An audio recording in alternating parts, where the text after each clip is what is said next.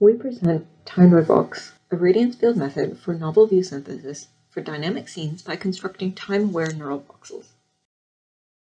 Our method can optimize dynamic scenes extremely quickly.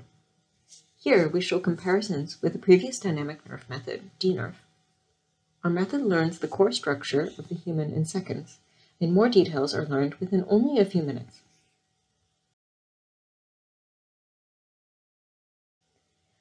We represent the dynamic scenes with features constructed as voxel grids, namely neural voxels. The biggest challenge for modeling dynamic scenes is that they involve complex point motions. For a person doing jumping jacks, points surrounding the head are moving in a small region. However, the arms are moving with a drastic trajectory.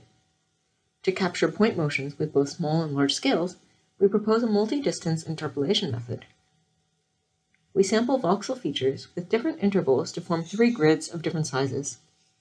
The interpolation is performed within the three grids where motions of different scales can be captured.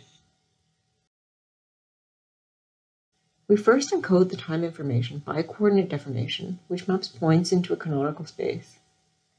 The mapped points are used for voxel querying and interpolation. Then the temporal information is enhanced by concatenating time and coordinate embeddings with voxel features, which are then all fed into the radiance network to produce colors and densities. Here we show view synthesis results on 360 degree synthetic scenes.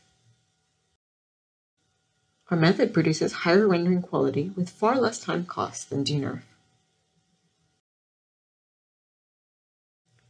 The synthesis process can also be decomposed with time and view directions separately.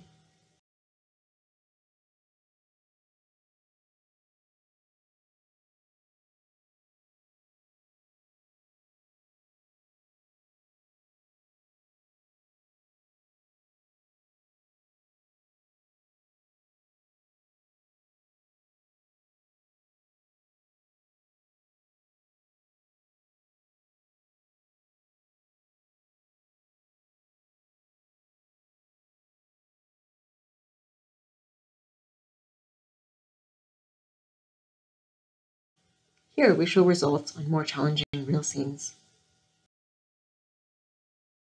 The input images are captured with sparse time and view directions.